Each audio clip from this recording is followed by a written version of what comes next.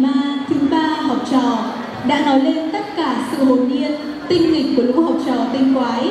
Nhưng trong sâu thẳm mỗi học sinh luôn là một khoảng lạnh như bầu trời xanh ấm êm, là nơi dành cho nhau những tình cảm chan chứa,